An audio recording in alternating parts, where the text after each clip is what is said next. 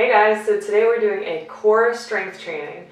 To activate our core has obvious perks. Um, we can see visible definition, things like that, strength and power and confidence that come from sport, core training. Um, that's all super important for our energy and our aura. Um, what's also really important for strengthening our core is the massage that we give our chakras. Our, many chakras reside in our torso.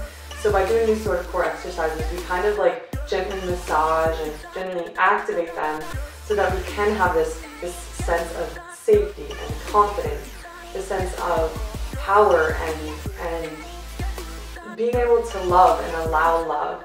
Um, and that's the energetic benefits, I'd say, of these specific core exercises. Um, yeah. you can follow my Instagram for notifications, behind the scenes, stuff like that and subscribe to my YouTube so you know when new videos come out. And let's get to training.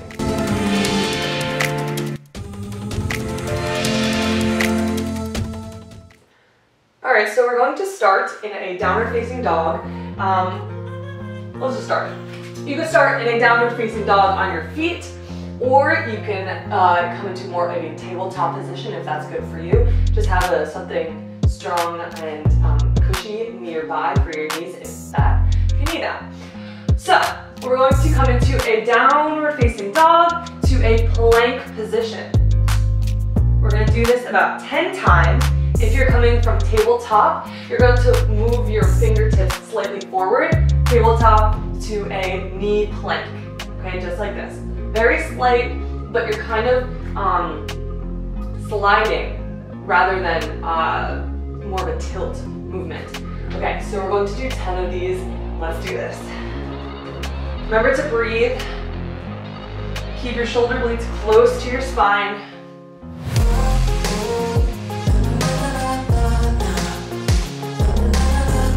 We're hinging if you're in downward facing dog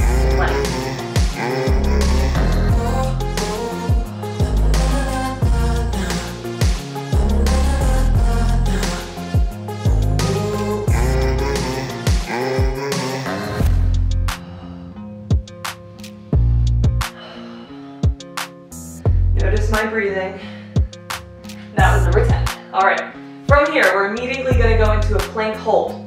You can either do a plank on your elbows or on your hands.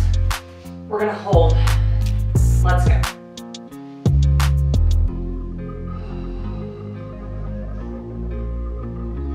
Engage your core, but relax your shoulders. I have heard of a sort of yoga plank where you puff your upper chest, your um, upper spine outwards, but more strength comes from when you sort of tuck your shoulders in. Two more breaths, guys, we got this. One, and two, amazing. Okay, take a breath.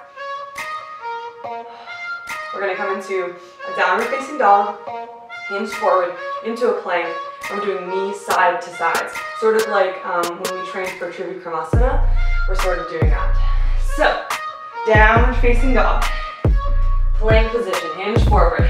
Right knee comes forward, touch your right elbow, or close to, and then touch your left elbow. Let's go.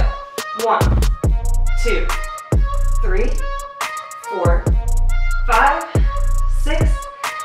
seven, eight, nine, ten. Switch left. One, two, three, four, five, six, seven, eight, nine, ten. Sit back. Awesome job. All right. Breathe in. When you breathe, let your belly come outwards. Don't try to hold your, your abs in, okay? Let that energy flow through your core. Support all the work that we're doing. Side plank time. We're gonna do a side plank on our elbow, on our forearm. A few options for side plank here. You can stay on your knees or on one knee, kind of like this. I like to do this because um, it supports my knee a little bit better than a full side plank would. So this is my side plank. You can come fully on your knees if you like. as long as your hip is off the ground. So we're gonna do 10 hip dips here. Raise your right hand into the sky. Inhale and exhale, touch your hips to the mat. Immediately come back up. Two.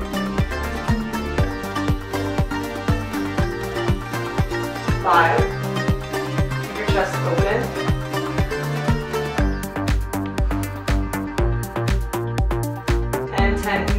Switch. Right elbow onto the ground, flip over. Again, take the same variation that you did on the other side, and we're doing 10 hip dips.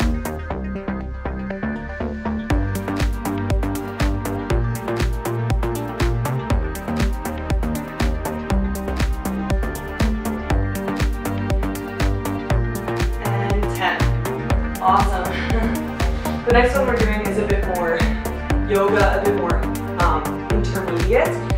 So if you want to go back to the hip dips, any of the previous exercises we just did, do one of those, or you can just hold the plank. But we're going to do side plank to wild thing. This helps us gain more confidence in more flowing movements. Um, and back bends are amazing for opening our chakras here. Okay, so side plank. This time I'm definitely gonna do it on my hand. That way um, I'll have more control over my movements. So side plank, uh, once you inhale, you open your chest up towards the sky, pivot your hips to face the sky, right hand still high in the, in the air, almost in the sky for like the fourth time, and then look forward, side plank. We're gonna do five of these on either side. Open up, side plank, and open side, two, three, four, and five. Switch, right hand on the ground. Um,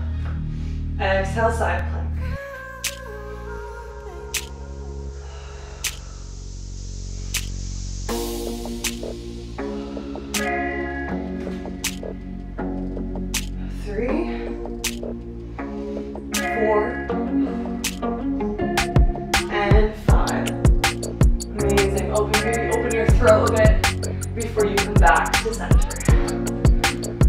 Beautiful. Last exercise we're doing today, unless you're gonna do a round two of this, is our butterfly legs. So as we lie on the ground, press your lower back into the ground. If you need to place a pillow under your low back here. That's very beneficial. We want that connection between our coccyx spine and the ground. Place the side, outer side of both of your feet on the ground. You're the inner ball of your foot and the inner heel of your foot are touching. Knees out a little bit wide, not too crazy wide, because we're going to touch our knees and open. We're going to do 50 of these butterfly pulses as you start, begin now. And as you're starting, engage your core. Feel that strength holding you in this position. Allowing this movement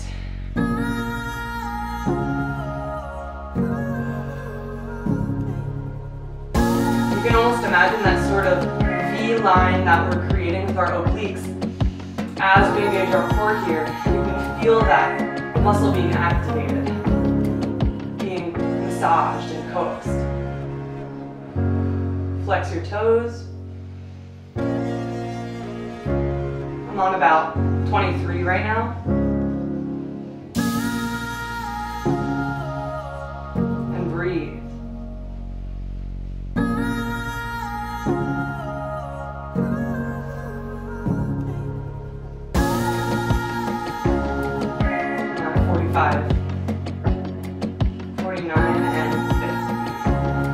Okay.